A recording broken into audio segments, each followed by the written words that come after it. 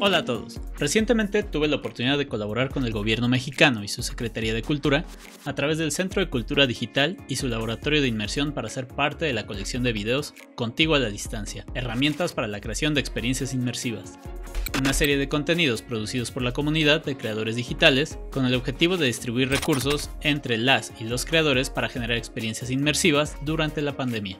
En este tutorial vamos a aprender las bases teóricas y las herramientas 3D del software Cinema 4D para que puedas empezar a generar imágenes en 360 grados que podrán publicarse en redes sociales y que también podrás visualizar en visores de realidad virtual o dispositivos móviles.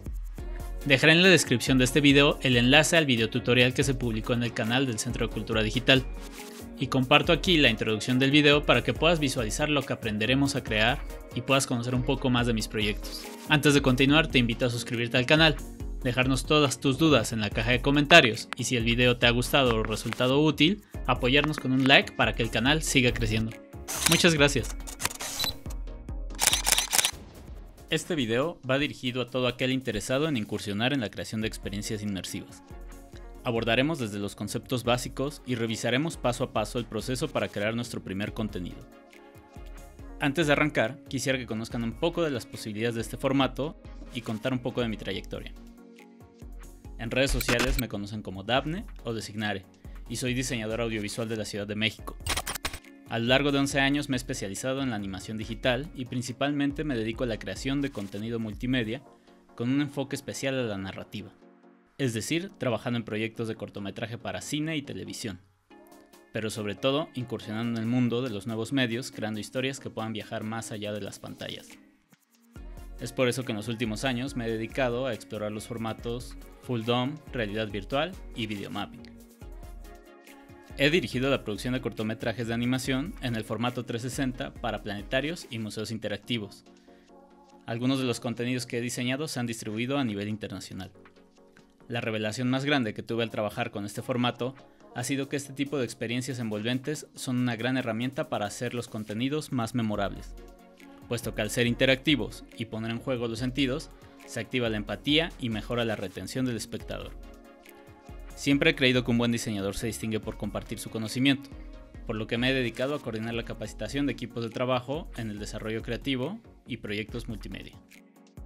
Eso fue lo que me animó a crear este contenido. Vamos con el tutorial. Les mostraré aquí un ejemplo. Tenemos este video que subí a YouTube y que ya está en el formato 360 grados. Yo puedo navegar libremente por el entorno y explorar la imagen.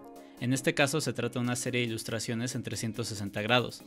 Lo más interesante de este formato es poder contar una historia a través de los elementos que colocamos en la composición.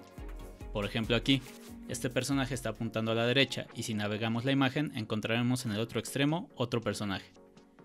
El reto de generar una imagen en 360 grados es considerar que todos los ángulos van a ser visibles y debemos colocar elementos que vistan nuestra composición y aporten a la narrativa de una forma envolvente, para que te sientas involucrado en la escena. ¿Cómo se creó esta imagen?